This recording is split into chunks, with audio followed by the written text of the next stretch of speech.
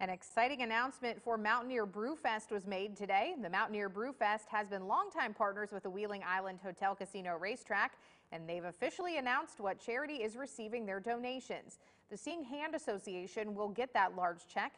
The Seeing Hand provides countless services for the blind and visually impaired. Everyone involved says it's a great event for a great cause.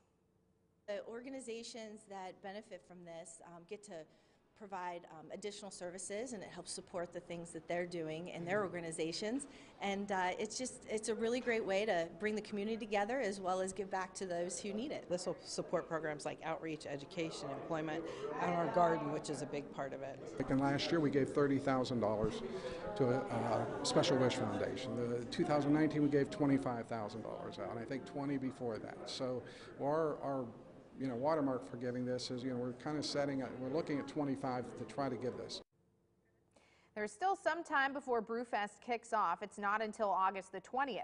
Tickets go on sale on June 1st for $30, and after July 31st, they increase, so make sure you get that early bird special.